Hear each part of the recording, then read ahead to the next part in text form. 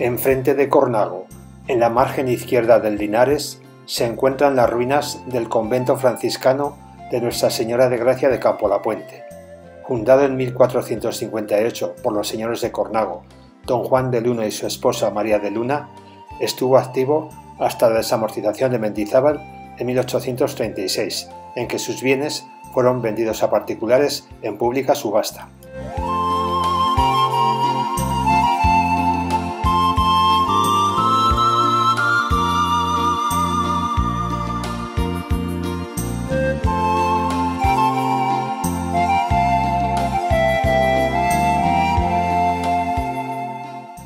El origen de la llamada sopa boba lo encontramos en una costumbre de la Edad Media que consistía en dar de comer en los conventos a pobres y necesitados.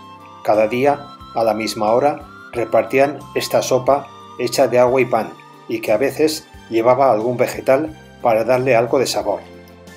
Se le llamó sopa boba porque los mendigos tenían la costumbre de comer con la boca muy abierta, lo que según los refinados de entonces les hacía parecer bobos.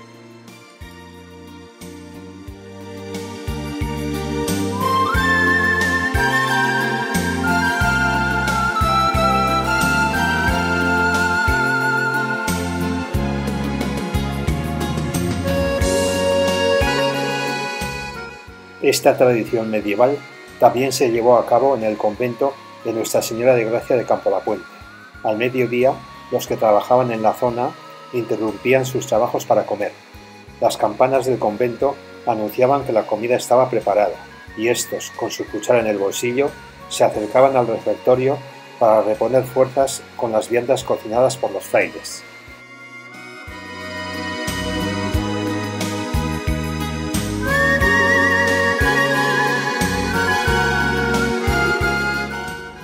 Esta tradición se ha recuperado en las jornadas de artesanía medieval que cada año se celebran en Cornago. Una cuadrilla de mozos y mozas cornagueses, ataviados con vestimenta de la época, llegan desde el convento con su borrico, repartiendo el sabroso caldo entre todos los asistentes.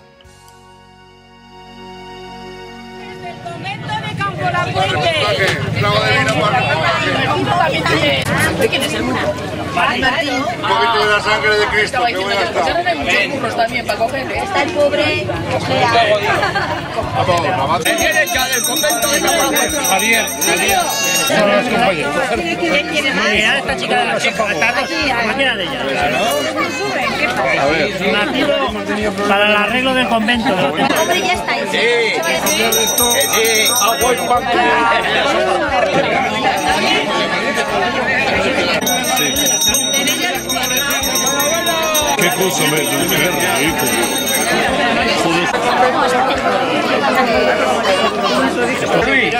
Padre Luis.